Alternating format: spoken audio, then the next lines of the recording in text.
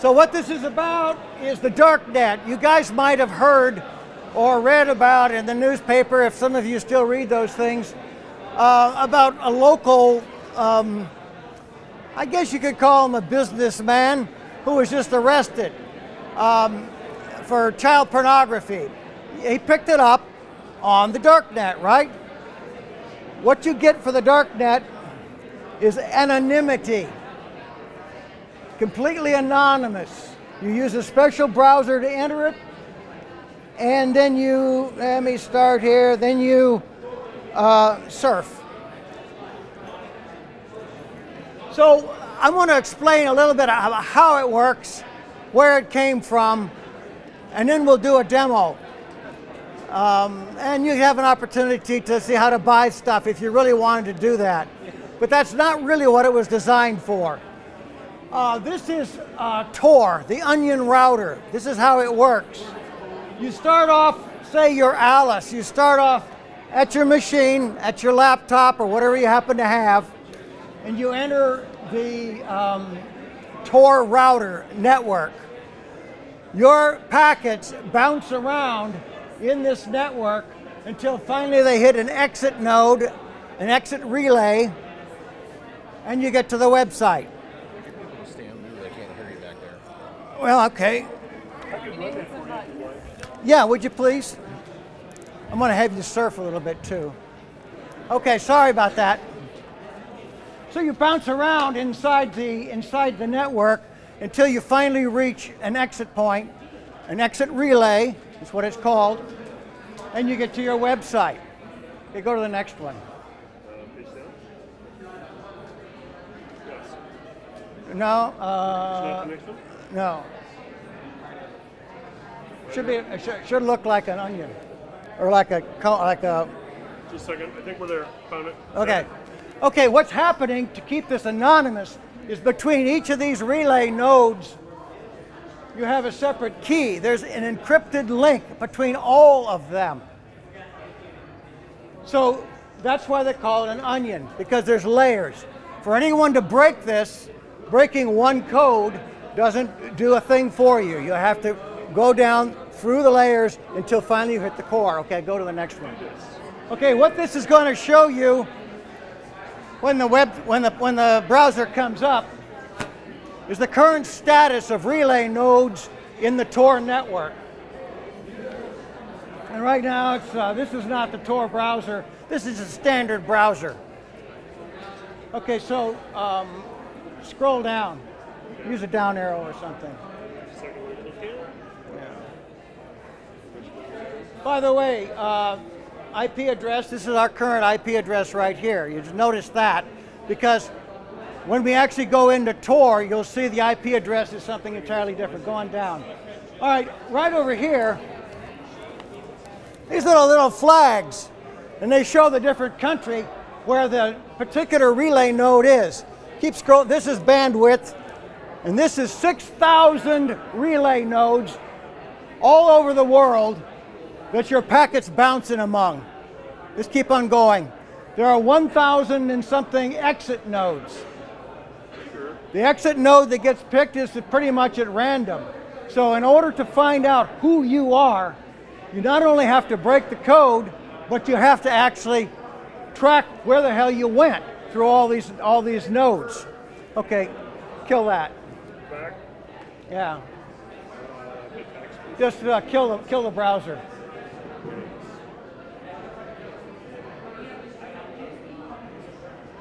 Okay, 6,090. This is a couple of days ago when I looked at this. That was the number of relay nodes and the number of, or total nodes and the number of exits that I found. It changes all the time.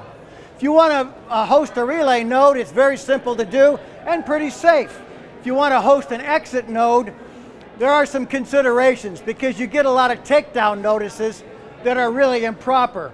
They're, you know, you're not the guy who's actually accessing a particular website that's got uh, uh, copyrighted material on it. Okay, go to the next slide. Okay, here we go. Who uses this thing?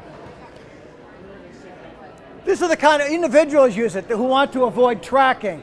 There are two kinds of people who want to avoid, well, there's good people and bad people and maybe gray people. There's those who are trying to connect to websites, for example, from North Korea or from Iran. This is how they would do it, it's protecting themselves. Um, there's socially sensitive communication. If you're really worried about being picked up because of maybe a disease you have or you're an abuse or rape survivor, this is, or person, this is the kind of thing that you might want to use. And you can use this just to connect to a regular website. The government uses this to hide sensitive communication. For example, if they're trying to obtain what's called open source intelligence from, from someone out there, but they don't want to reveal their source. In other words, they're trying to protect their source, they might use Tor. Journalists use it to communicate with whistleblowers. And of course, you have criminals, drug sellers, drug users, terrorists, pedophiles, fake ID providers, arms dealers, and all the rest use it as well. So there's good and bad. There's another thing called hidden services that we'll see where users publish websites and other services without needing to reveal the location of the site. Go to the next, please. Here's how it got developed.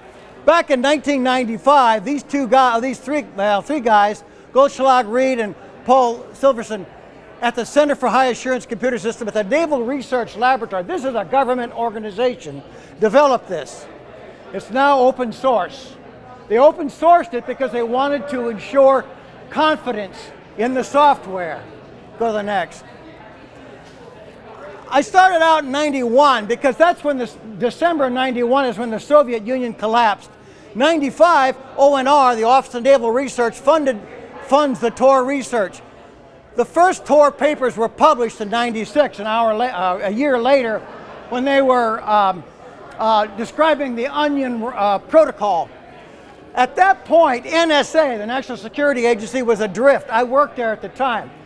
You would wonder how NSA would allow something to be developed. That's because they didn't know what to do about it.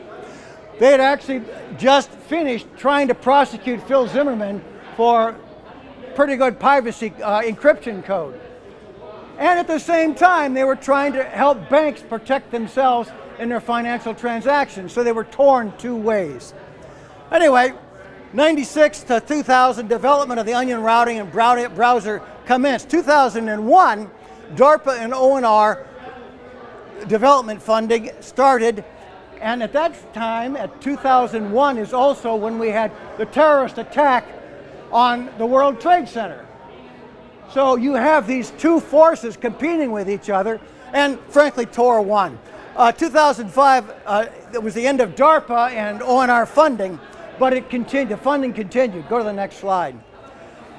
SRI International has been funding it up to this year. This is actually a pass-through from the government. I'll show you that in a second. Uh, Department of State, Bureau of Democracy, Human Rights and Labor is funding it. National Science Foundation, Radio Free Asia, an anonymous ISP, the Ford Foundation, Google Summer of Code, and more than 4,300 private people are funding Tor. Go to the next. This is a picture of the federal budget. What I wanted you to see is this is uh, Department of Defense pass through from uh, SRI, $876,099. That just shows you where the money goes. Follow the money and you'll see who's supporting it. It's the government. Go to the next. This is who's funded it in the past.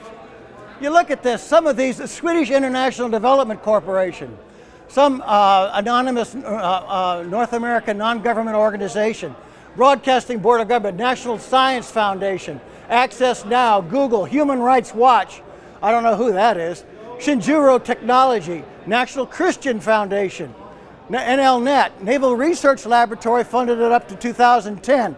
Uh, Inter, uh, Internews Europe, Electronic Frontier Foundation, DARPA and OR up to 2006, uh, and others. Bell Security Solution, Omidyar Network, Enzyme, NSF via the Rice University. Okay, go to the next. Okay, so how do you get Tor? To get the browser, Windows, Mac, OS X, Linux, you just go to essentially do a search for Tor browser, and this is what you'll find, Tor project. Click on it and download the browser and uh, the installation is trivial, and then you can run it. If you're on Android, uh, on, a, on, a, smartphone, here's where you go.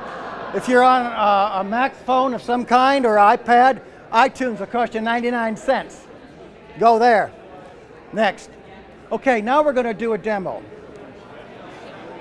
Okay, this is your Tor browser. Um, it comes up like it's just Firefox. It's been specially configured. Um, see the little onion up in the upper left-hand corner right there? Um, that little onion will flash with a little triangle if you have an outdated browser and you just download a new one. Um, go to the next one, the SI. What this is doing is killing JavaScript. I'll tell you about that in a second. Uh, click this guy right here.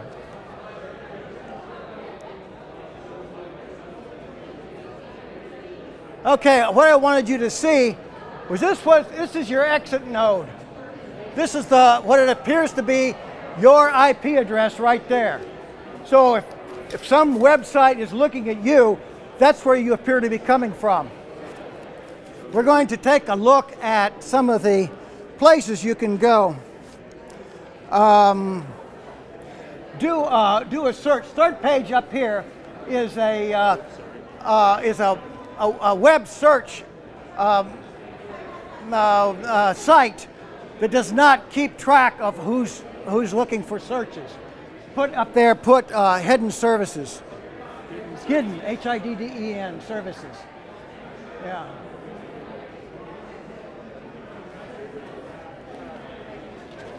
Um, right here. Uh, not, no, not that one. Go down to, uh, no, this one right here. Let's go to that one.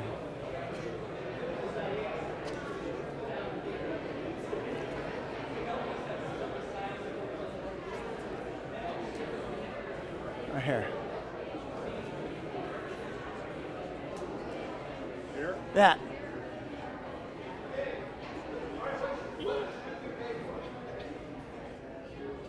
Uh, go back. What I'm looking for is one that's called Huge List of Hidden Services.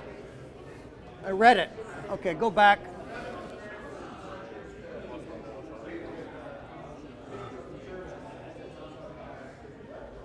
And back, back, and put huge list and Reddit. Huge. Yeah. And then at the end, read it. Reddit. R-E- R E D D I T. Yeah, okay. Try that. There it is. Hit this one. Can't I just type in credit card and go right to the chase here? Yes, you can.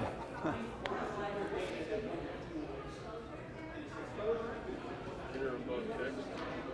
I don't see it. Um, go back. I, I don't know what this is. I've never been. I've never seen this one. Try this one. This doesn't look like Kansas to me. That's really odd. I type in one more step.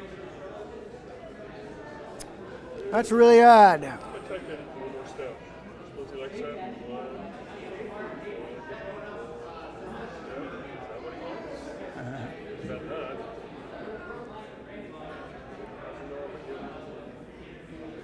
All right. Um, go up to hidden services. Hidden, up to hidden services and, and do uncensored hidden wiki.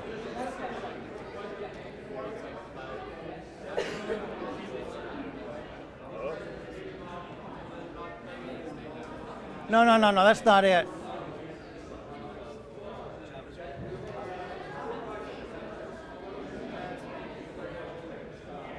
Go back. Go back. Give up. Yeah, give up. All right. Um, try this one. Somebody's got your number here. I guess they do. This is a feature. Okay, go back. We may not be able to complete this demo. Try that one down there.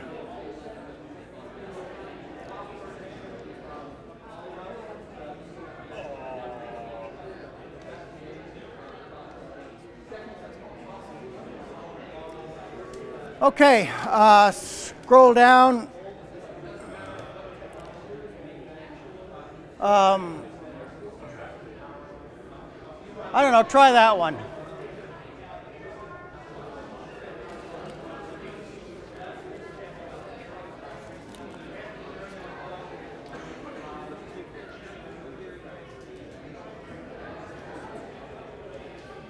Okay, go back.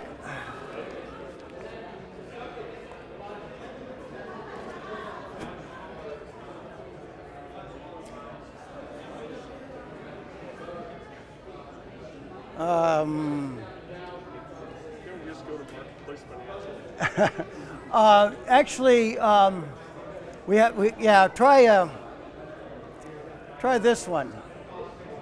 Right here. We'll just go directly to the sailors.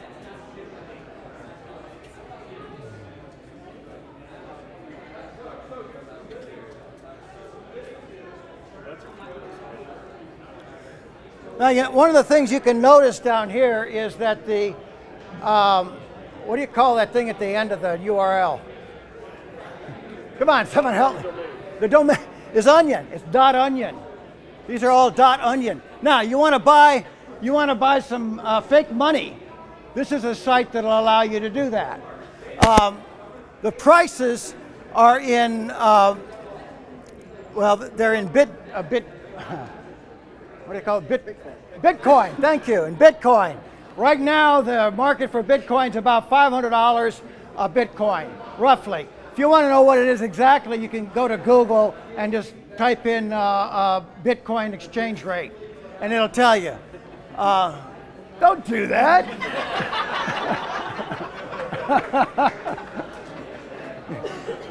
Yeah, go back. I don't want to buy any of that crap. You're going to get me in trouble. It's Tor. It knows who you are. Use the Tor browser so I can leave it's safe. Okay, go to the hidden wiki, uh, the, the wiki again. Safe. Discount electronic goods. Oh, here go. UK guns and ammo. That's okay. I have no longer any control over where we're going here. okay. A lot of these, by the way, these websites are just on someone's PC. They're just a PC, so sometimes it's up, sometimes it's down. If you can't connect with something, you try again later. So go back and try um, uh, try the UK guns and ammo.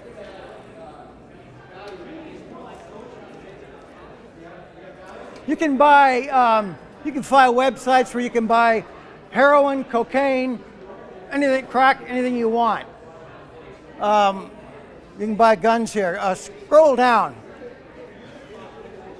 Um, you can buy um, all kinds of, well, one of the things you can get on here are guns with silencers, automatic weapons, um, just about any kind of weapon you want if you're willing to pay for it. That's a good question, and that is the question: is how do you how do you ensure safe delivery to your house or wherever you are? Right? I don't know that because I don't. I've never done any of this shit. And I'm not about to. So go back.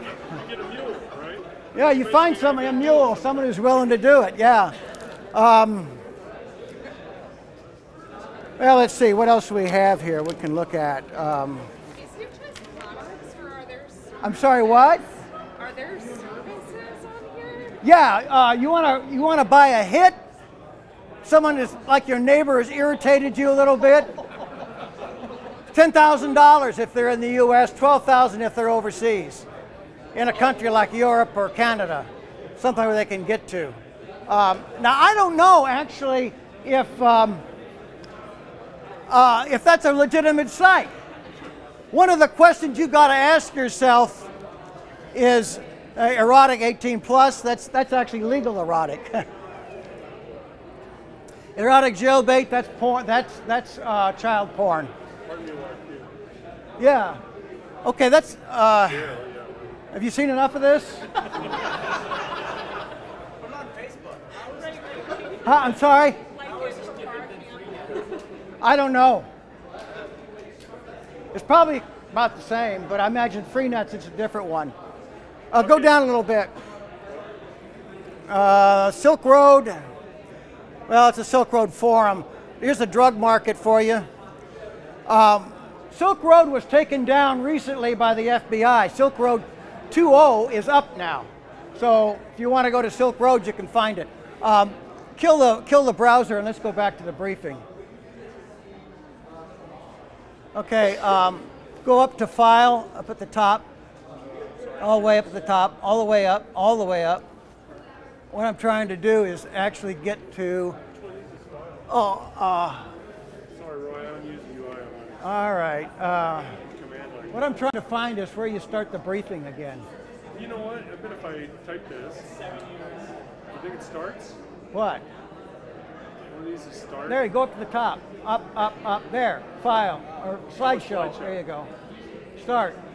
Current slide. There you go. Go down, down, down. Yes, yes, yes, yes, sir. Okay, here we go. Further, further, further demo. Now, this is something to be aware of if you're buying crap on the dark net. The FBI took over a place called Freedom Hosting that hosted a lot of these hidden services. Um, so you don't know if that website that you're so interested in buying from is maybe an FBI website. Could be, I don't know. So, also, if you click on just about anything, if you have JavaScript running, you're liable to get drive by malware. And what that drive by malware does is phone home, right? Phones the FBI, says, This is what this guy's doing. So, you have to be kind of careful, all right? Uh, the Dread Pirate Roberts ran Silk Road. The guy's name is uh, Ross William Ulbricht. He was captured by the FBI. He's incarcerated in Brooklyn right now, awaiting trial. He attempted a hit on a Silk Road vendor. Um, and that's one of the things he's being prosecuted for attempted murder. All right? So you got to be careful when you're using this stuff. Uh, the FBI uh, arrested the acting Nebraska Cyber uh, Security Director, two minutes, for the U.S. Department of Health and Human Services, Tim DeFoggi. It was recently convicted of child pornography. That's this state. He was using Tor. Presumably, he used uh, FBI used drive-by malware. Silk Road 2.0 reminds you to turn off JavaScript. Next. Commercial message. This is a commercial. Venom is by me.